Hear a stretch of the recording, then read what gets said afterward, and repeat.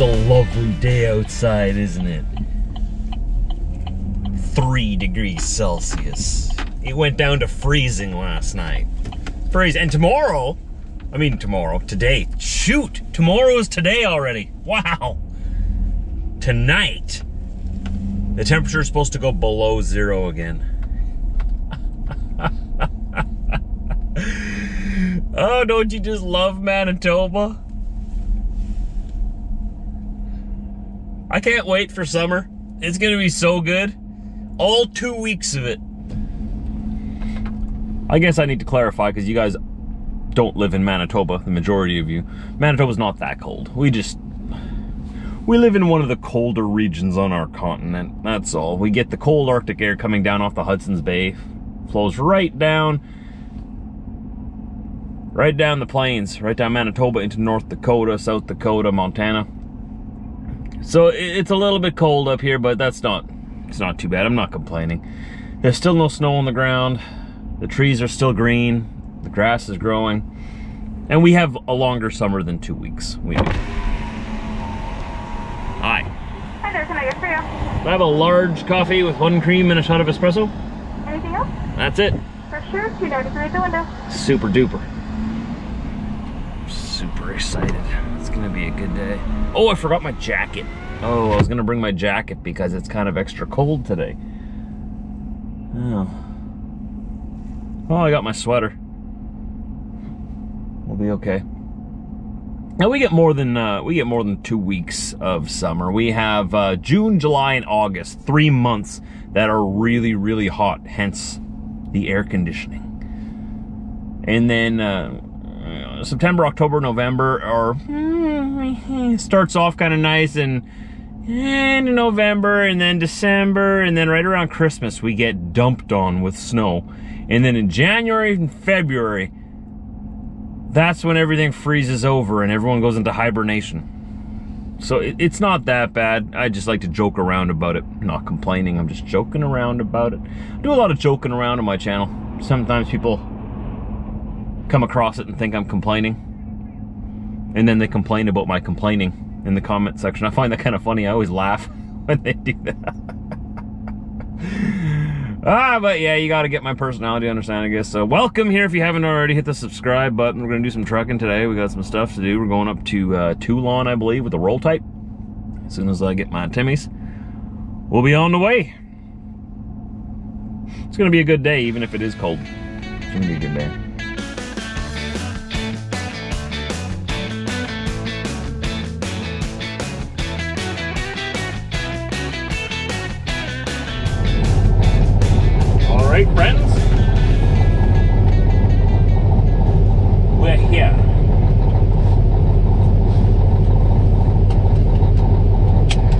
Onto a Roll-Tite trailer.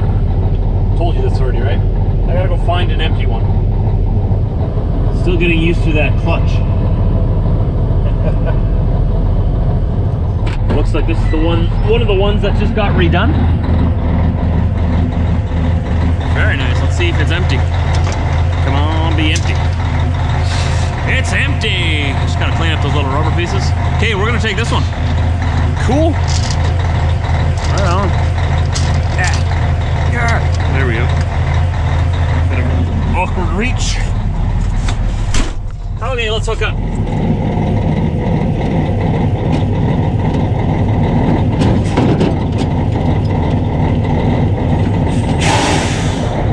This trailer was dropped a little bit too high. You see that? The guy who had it before me obviously had a higher fifth wheel. Or there could be multiple other reasons, but always make sure don't let that pin go over your fifth wheel and get hooked on there. Because then you got to go on there on the lower gear and crank it up. Or the higher gear, lower gear, the easier gear. crank it up so that that kingpin can get over your fifth wheel, right? And then crank it back down. It's a big pain in the butt. I'm gonna crank this down a little bit and then hook up. Just remember when you're hooking up, uh, pay attention to that. It's happened to me before where it slips over the front and it's it's a headache. All right, we're hooked on. Lights are all working. This trailer looks like it was just redone, so everything should be in order. Light back there. Tires all full of air. Suspension filling. No air leaks that I can hear.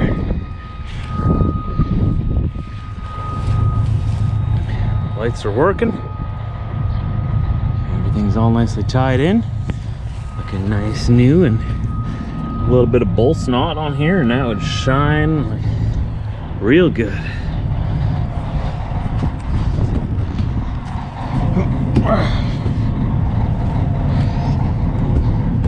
There we go. So I deal with these Roll-Tites a lot.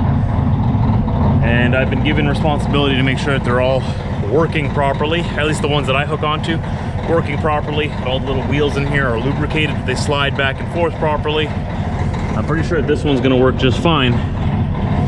But if there is any issues, I've got to make sure that by the time the highway driver gets it, that those issues are taken care of. I told the shop yesterday about an, uh, an exhaust leak that was on my driver's side stack here. That's why the, the exhaust sounded so loud right by my window, right? Which was fine, I liked it. It sounds aw sounded awesome, but sounds like they fixed it. So the truck still sounds great. It's just not so obnoxiously loud now. Which I guess is okay. it doesn't sound right when it's from an exhaust leak. You gotta have proper exhaust for it to sound right anyway, right? So now the truck sounds normal again. They did a good job. You know, they've been doing a lot to this truck already since I've been in since I've been in it. Yeah, they got the AC fixed, they got uh, the exhaust fixed in like two or three different places. Uh, they've kept up with the maintenance and serviced it regularly. They've got the interior lights fixed in here. Let's not forget that. That'll be a big one once uh, wintertime comes around because it's so dark in wintertime all the time. I'm doing a good job. Bit by bit, we're piecing this little truck together. Gonna hold it together. I like it. I don't want a, I don't want a new truck. I want this truck. I like the old trucks better. As long as we keep catching the things when it's small and I bring it to the shop and I let them know when these small things happen, then they can quickly and easily fix the small things, right? If I just let them fester, they turn into big things and then the truck's down for a long time or if it's a big enough thing, they may even, you know, write it off and say, you know, it's not worth fixing. We don't want that to happen. We want to keep this truck running. We just need to get it, eventually get a, the frame painted, some shiny wheels on here. But uh, all in the future, all in the future, right? Maybe I'll buy a special polishing tool or a polishing uh, attachment, the drill attachment. Get this thing shining up a little bit. But if not, yeah, it's a work truck. It's a work truck. It does the job. And we just want to keep it going. It's got 1.85 million kilometers on it, 39,180 hours on the engine. She's been going a while. She's doing good. It's a Peterbilt. What do you expect? I mean, it's not a Kenworth, but it's Peterbilt. It's a very close second. That's how my favorite trucks work. Kenworth at the very top. Right below Kenworth, like just a hairline below Kenworth. Peterbilt. They didn't just fix my exhaust leak, which was right here. They put a whole new muffler on there. Nice. That's why it sounds so much better.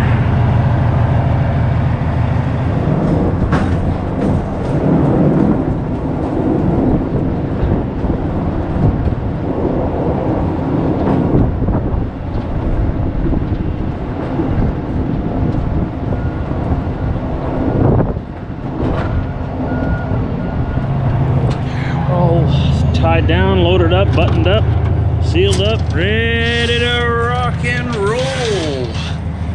Got three pieces in here this time. They're going to Baton Rouge, Louisiana. Louisiana, Baton Rouge. Lost my pen somewhere. Often when I bend over to pick something up, my pen falls out of my pocket here if I don't remember to clip it onto that little ring there. See? Somewhere in here is my pen. At least I think it's in here. Maybe it's back at the yard, I don't know. So that one over there is going to Louisiana. Louisiana, am I saying it right? Louisiana. Louisiana. This one here is going to Gulfport. Well, your battery died, guys. You gotta remember to keep your batteries charged. Interrupted our conversation there. So the one in the back is also going to Louisiana. Uh, not Baton Rouge though. So is it Lafayette? Louisiana, does that sound right? And the other one there is going to Gulfport, Mississippi. So they're going down south to the land of palm trees.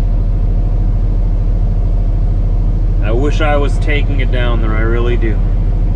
Maybe one day, maybe one day we'll hop back in a highway truck for a trip or two. We'll see. Right now I'm needed here in this position. Someone needs to pick these up for the highway guys. If I won't do it, then they gotta come get them themselves. And they won't like that very much.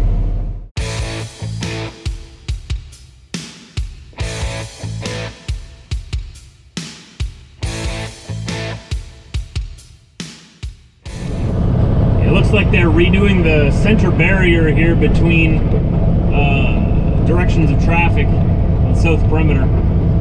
Used to be probably what, three feet high? Now they've bumped it up to five feet, I'm guessing. That's good. That, that's probably a good move. Anything to make it a little safer. I think that's all because uh, there was a bad accident on the west perimeter uh, near Headingley. They replaced the barriers there already, but it looks like they're doing that all the way around. They've released a 20-year plan for our perimeter here in Winnipeg. The road that goes all the way around Winnipeg. Uh, the, the plan is in 20 years to see how it's going and uh, probably do nothing. So chapter one of the day is finished. That load is buttoned up, sealed, and ready for the highway driver to take it down to Louisiana. Louisiana. I don't know if I'm saying it right. Louisiana. That'd be a really good trip, honestly. I wish I could take it. One of these days, I, I would like to. But for now, we've got chapter two starting today. And I've got to go pick up a load of lumber that's headed down to Minnesota. One of our highway drivers is going to want that. So you probably noticed most of our freight goes to the US. That's our biggest trading partner. And most of the stuff that's made up here gets sold to the US. Somebody down there always buys it. That's why if you want to work here, one of the requirements to to work here is the ability to cross the border into the United States. So if you're not allowed to cross the border for whatever reason in a commercial vehicle, uh, it's probably not going to work out. Right now, commercial vehicles are the only vehicles allowed to cross at land ports of entry in either direction.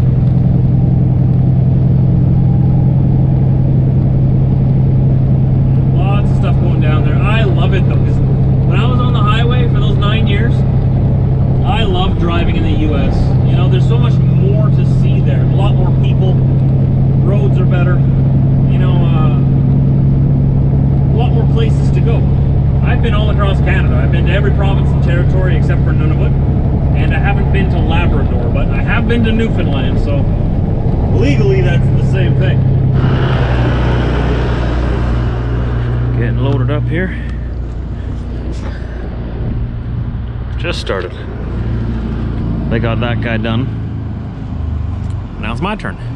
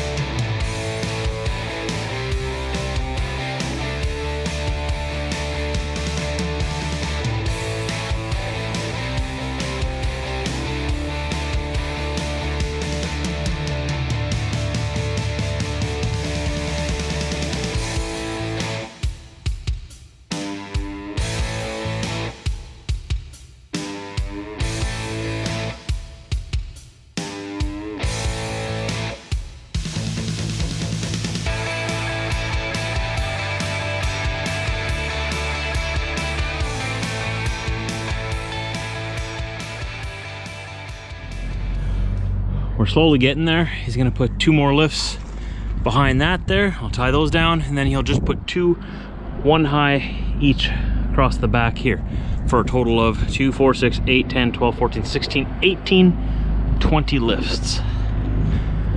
And I haven't seen the paperwork yet, but I'm gonna assume it's probably close to uh, between 40 and 45,000 pounds worth of wood. There he comes.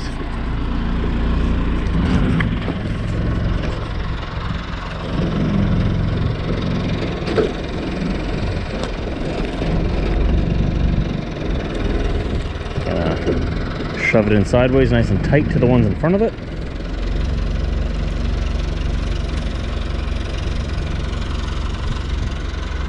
And I'll throw these straps over, tie it down, bring it back to the yard, and the highway driver can take it from there.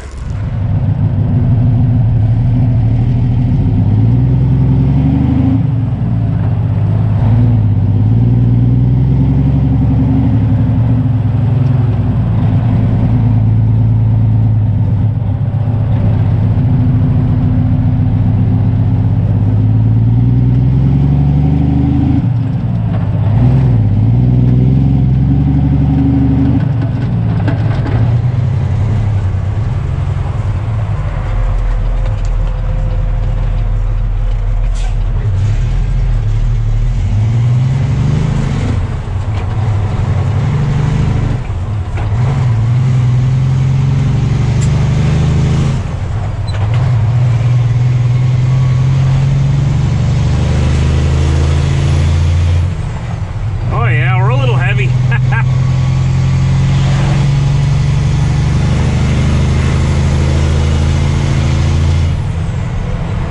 Feels good though. Feels good to be that heavy.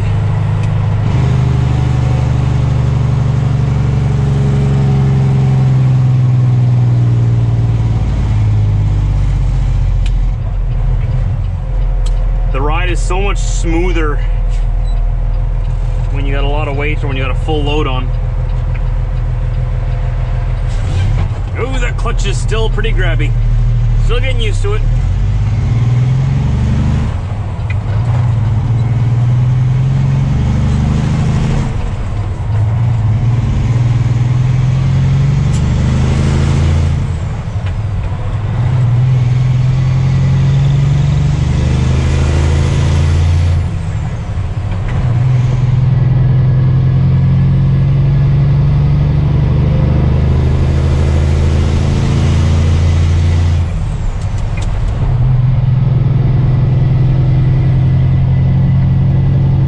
This truck is actually running a lot better since they uh, put the new muffler on.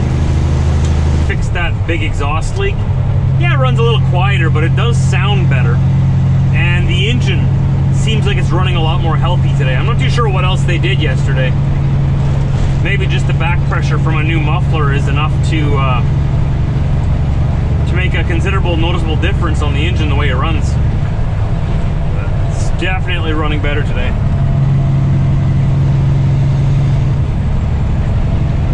It's kind of funny. There's a sign up ahead here that says lane closed ahead from 9 a.m. to 3 p.m. daily.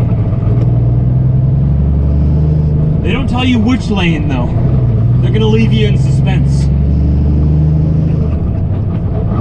Look at this.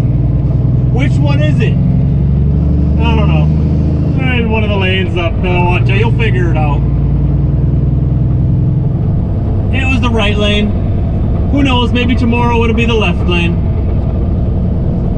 Lane closed. You figure it out.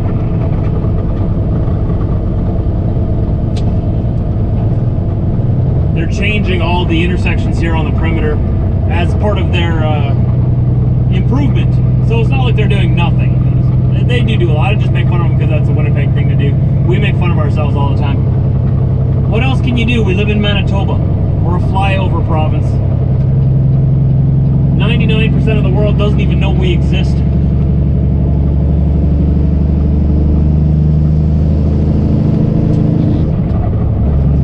But they'll know our name after we take the Stanley Cup home this year. Just saying. Alright, I'm just gonna scale this load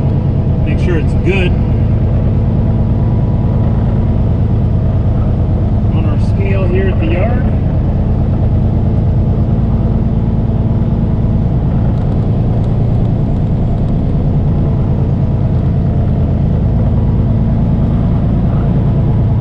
There's Dad off to the left up there again. Getting ready to head out to Saskatchewan. There's steers. Just over 11,000. Put our drives on the scale. That's at about 28,000, but remember I got a day cab. There'd be a sleeper on that yet. Let's see if the trailer's alright.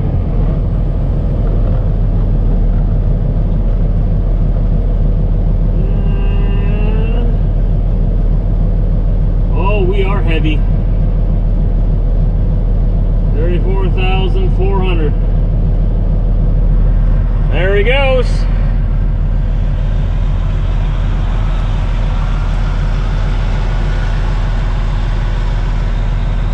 He's heading out, and I'm headed around to our loading area to get this freight adjusted. I've got to go find Bill or Brendan or Leonard or Gary. Somebody who can drive a forklift around here.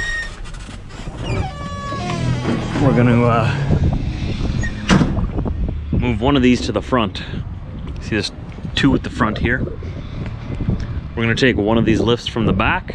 We're gonna center the other one. And put the other one centered on the top in the front. And that should balance it out for the highway driver. That way he doesn't have to worry about being 400 pounds overweight on the on the trailer. And that's one less headache he's got before he leaves. There's a forklift. Maybe I'll just grab the forklift. I think they're in the dock here. There's Bill. He's gonna take one off there, put it up there, and he's gonna center that one on the back after.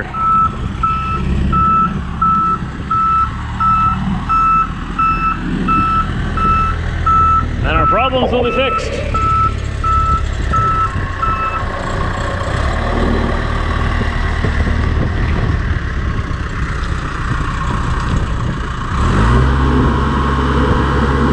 Least they should be fixed. I was at 28,000 pounds on my drives, but you have to remember there's gonna be a, a sleeper on the highway truck yet. We can be up to 34,000 pounds there. So we have lots of room. And we're 400 pounds over on those in the back. So this should be just enough. There's our crazy shunt driver. Wants to be on YouTube.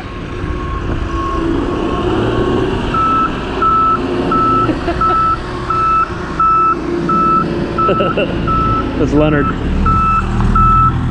Alright, so our steers here are now at, what does that say?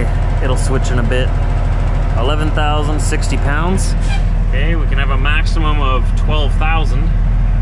Put our drives on there. And we can look in our mirror now. You see it there? That's why it flips back and forth. Uh, wait for it to flip.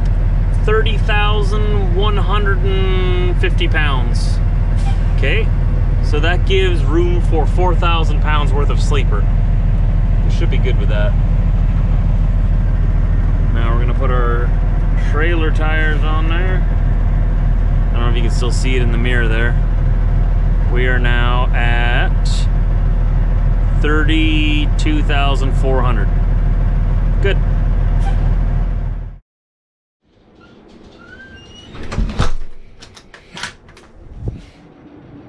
Hey boys. Hey boys, we got a weasel. We got a, a Chevy, a very fluffy Chevy. We got a wiener. We got a commander. We got a wife. She's been very excited today, telling me that she's very excited about supper. I'm making special supper. What you making for supper? Water and butter. Noodles. I love it. Careful, watch it. Oh, oh, oh, oh, and what's this? So you guys know that online sensation of the feta baked with the cherry tomatoes? Well, I tweaked it and I made it my own. I added Greek seasoning, shrimp, and spinach. The shrimp will go in after. But I added in a whole bag of spinach to make it healthier and more delicious. Is your mouth watering too? It's gonna be good. She was very excited. She wouldn't tell me what she was making until I got home. My mom made it for me a little while ago, and I wanted to tweak it and just add in some shrimp and spinach and then Greek seasoning. So I did. And this is what we're having. I'm very excited.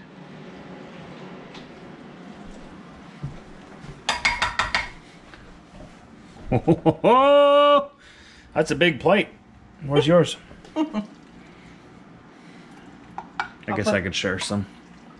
Oh, really? You can, can you? Uh, just a little bit. That's all you get, though. I get the rest. I'm gonna put some shrimp on top because I'm not gonna add the shrimp Oh. in, so that keeps his leftovers better. It looks delicious. I hope you like it. Oh, I know I will. Oh, yep. Mm-hmm. Yeah. Oh, yeah, right there. Oh, that one fell off. Adds character. Very exciting.